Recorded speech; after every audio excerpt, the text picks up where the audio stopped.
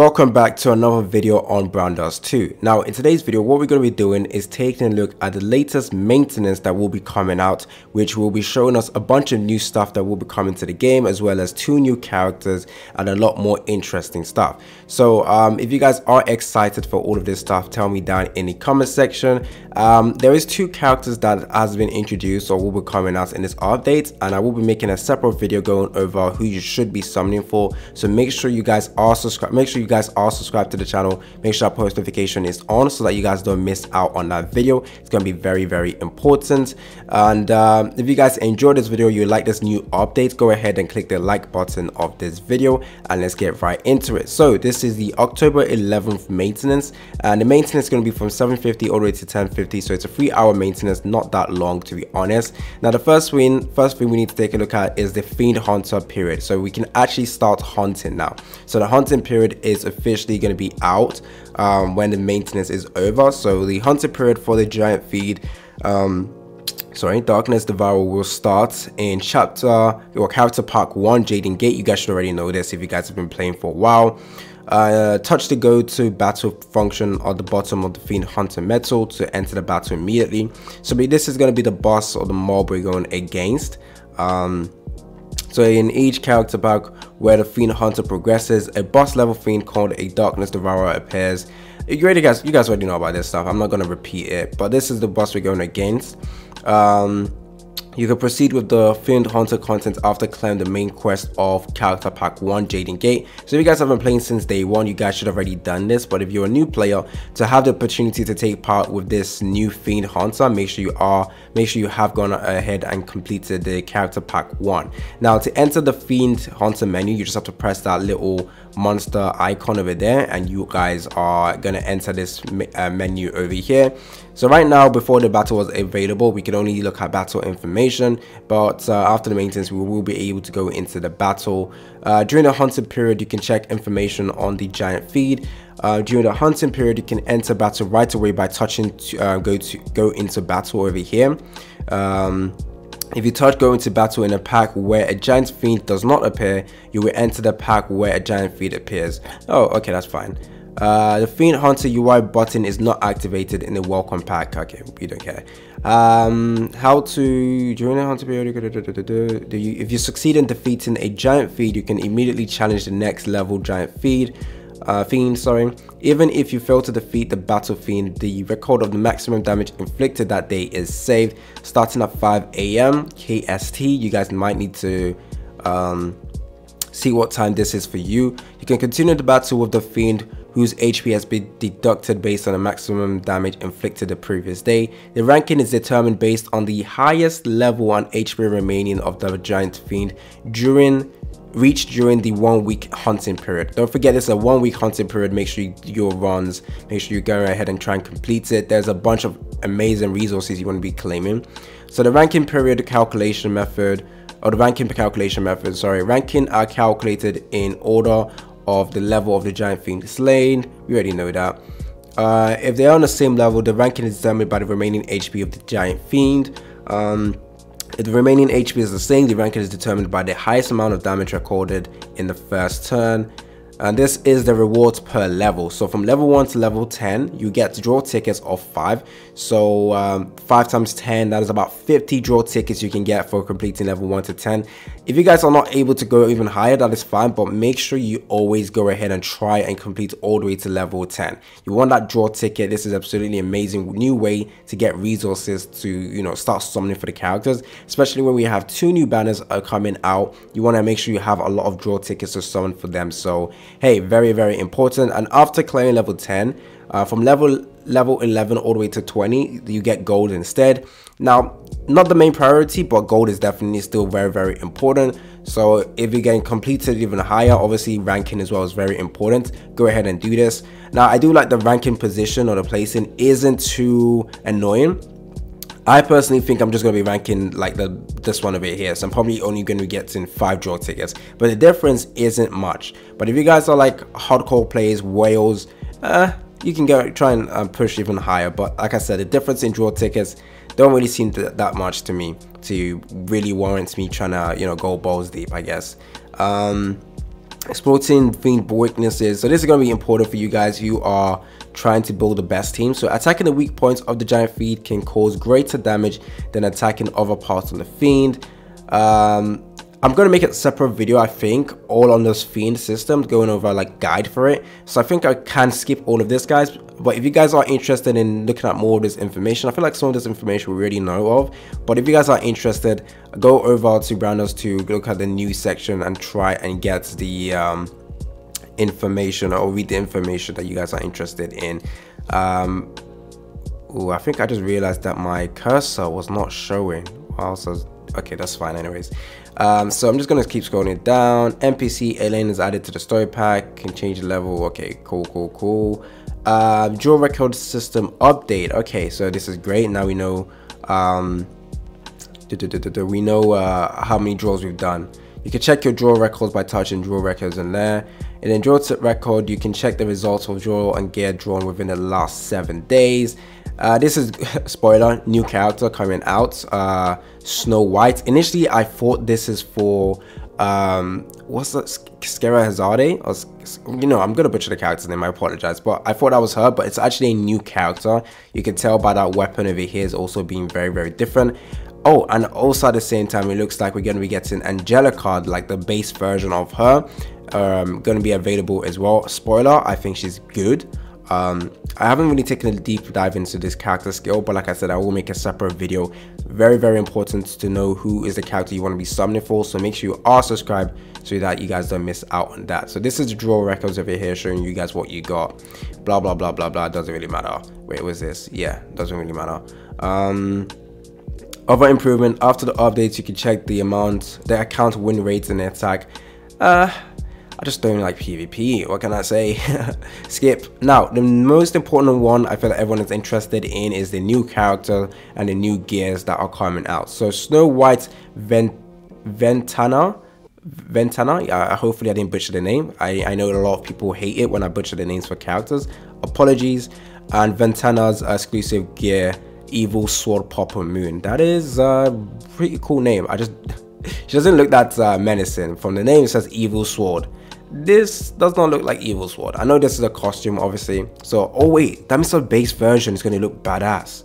Oh, I can't wait for this base version of uh, Ventana to come out. She's going to be very, very cool, actually. Uh, look at that um, assets, I guess. so yeah, this is the new character. This is the uh, skills over here. So, if, oh, SP cost is 5. This is the attack range as well. So, if, okay, not bad actually. Attack range is good. SP cost is 5 though. Hmm. So that means you definitely want to get to plus 3 to get that SP cost to 4. So that you can have more teams you can use with her. Um, anyway, she's going to be coming out from the maintenance all the way to the 25th of October. So you have enough time to, well, I say enough time, but it depends on how much resources you have. So inflict physical damage, or so she's a physical damage character. Um, equal to 200% of attack to the enemy in the to the enemy. If the enemy is in taunt state or a concentrated fire state, not gonna lie, I don't know what a concentrated fire state is. So guys, do your thing. Tell me down in the comment section. Deals physical damage equal to 400%. So it looks like this character is specific against specific enemies. So any enemies that taunt, any enemies that have concentrated fire state, then she is going to be dealing extra damage to them. Oh, this might be great against, um, okay, we recently got, is it Garcia? No, not Garcia, Gracia? Uh, I've forgotten the name of the character. recently got her and she has the ability to taunt. She's pretty menacing in PvP. Um, so this enemy looks like she wants to counter her. Um, but then again, as long as we don't have that many taunt characters in PvP, actually no, we do have kind of a menacing amount a decent amount that are very very annoying to deal with so this character could be um, like I said, very unique against specific enemies. So it's not going to be like, oh, this character is good for every single content. So um, take that as you will. So all the way to plus five, the percentage value is increased down 700%. Ooh, quite naughty. I ain't gonna lie. So for her, oh yeah, physical. So yeah, she can crit. So the fact that her exclusive abilities crit damage, this character is going to be hitting hard, isn't it? Especially if obviously you are an enemy with taunt state or concentrated fire state, the damage done to you guys is going to be insane. So for that reason, pretty good character. And then we have Angelica, who looks so beautiful. Oh my days. I'm not gonna lie, Angelica now is my favorite character in the game. I don't care what anyone has to say. So the Fallen Angelica costume, an exclusive gear is gonna be out. Hasn't she gotten an exclusive banner like it's like cause consistently? I think yeah, she just recently got a banner. I think the banner is still out right now actually. Um, obviously maintenance is going to kick in. We get a different version of Angelica. I wonder if we can get this Angelica from the um, from the inn since he is the base version. The game should give us a way to get the base version without actually summoning summoning just like they did with other characters in the game. So we will need to check on that. Uh, I don't think they will do it for now, but maybe in the future. So the Fallen Angelica costume, I am actually liking her a little bit more. I can't lie though, the range, I don't really like it, but everything else seems to be pretty good from Angelica. So the SP cost being at 3, mm -mm -mm, amazing. Now obviously if you get this to plus 3, the SP cost goes down all the way to 2. Um, sorry about that and uh, skill effect so at plus zero damage received is is reduced by 50%. Now, other version, I believe the damage received is reduced by 75%, but still 50% is quite decent, I guess.